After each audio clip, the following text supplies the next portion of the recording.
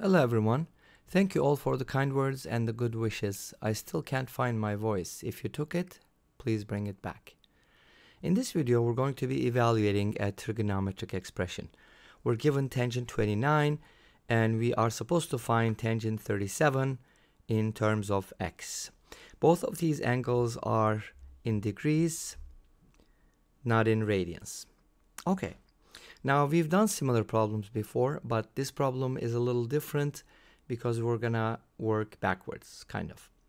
So let's go ahead and set tangent 37 equal to a, something simple. And then normally if we're given an expression, we will try to build the other one from the first one, but this time I'm gonna start off with 37 because a is simpler than the given expression, obviously. And again, the answer is supposed to be in terms of x. So let's go ahead and uh, use the double angle formula and then we're going to use the difference formula. So one of the formulas that we're going to use is going to look like this. Tangent to alpha is going to be 2 tangent alpha divided by 1 minus tangent squared alpha. And the other formula is the difference formula for tangent, which is tangent alpha minus tangent beta divided by 1 plus tangent alpha times tangent beta. Okay, so those are the tools we're going to use. Let's go ahead and double the 37. That's going to become 2a over 1 minus a squared. Now, I want to get tangent 29 from the 74. So I'm going to subtract 45 from 74, and that's going to give me 29. So tangent 74 minus 45 is equal to tangent 29. Therefore, tangent 29, I'm switching sides here, can be written as tangent 74 minus tangent 45 divided by 1 plus tangent 74 multiplied by tangent 45. Remember that tangent 45 is equal to 1. So we can just go ahead and replace them with 1.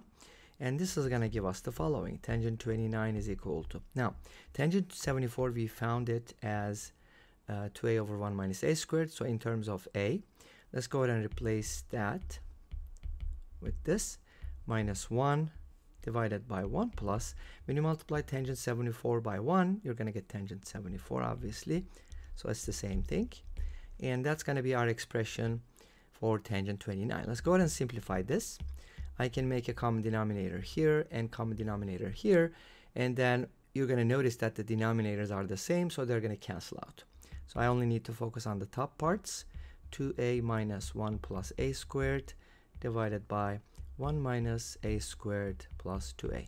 Obviously, I can just arrange this a little bit and write it as a squared plus 2a minus 1 divided by negative a squared plus 2a plus 1. So that is my expression for tangent 29.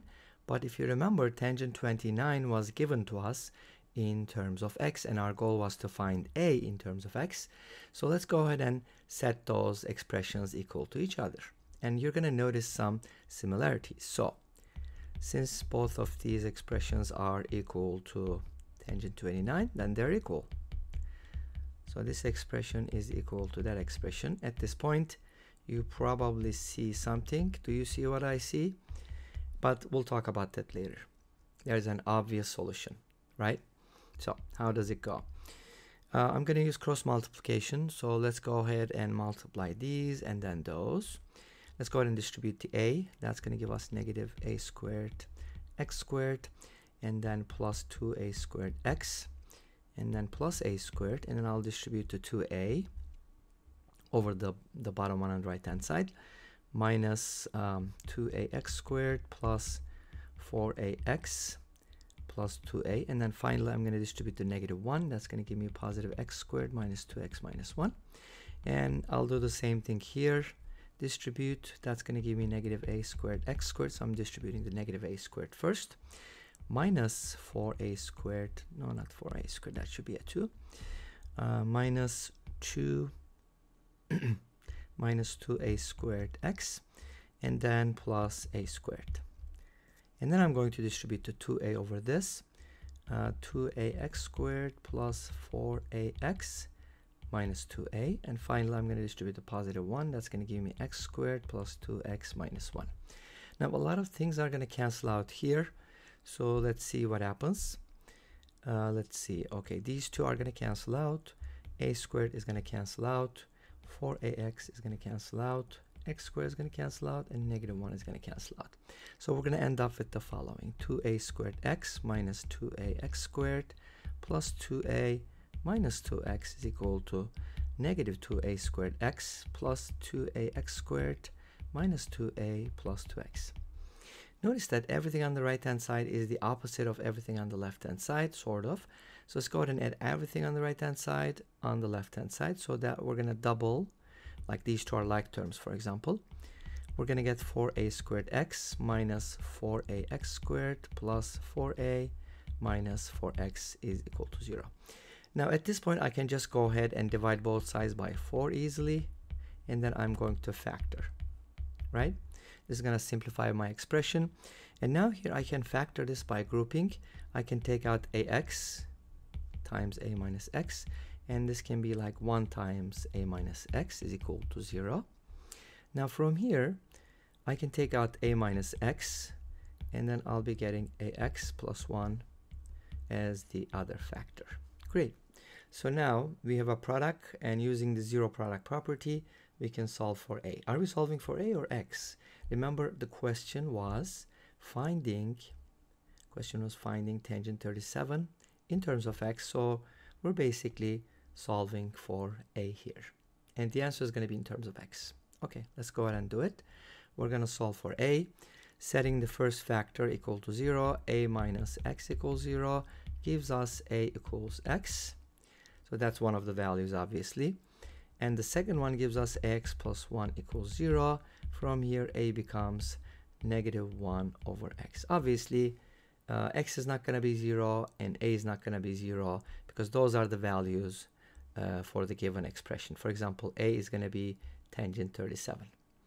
Now, what about the negative value? Well, if you solve this equation, because we have a specific value for tangent 29, right? You're going to get a quadratic equation, and you're going to get two solutions. Guess what? One of them is going to be positive, the other one is going to be negative, and those are going to be the x values. If x is negative, then you got this solution. If x is positive, then you got the other solution. Therefore, we got two solutions, and this is what I was trying to say. When you have an equation like this, basically you have the same thing on both sides with different variables. That means that you can easily replace a with x, but that's not the only solution. That's why I wanted to solve it all the way to the end. And this brings us to the end of this video. Well, thank you for watching. I hope you enjoyed it. Please let me know. Don't forget to comment, like, and subscribe. I'll see you tomorrow with another video. Until then, be safe, take care, and bye-bye.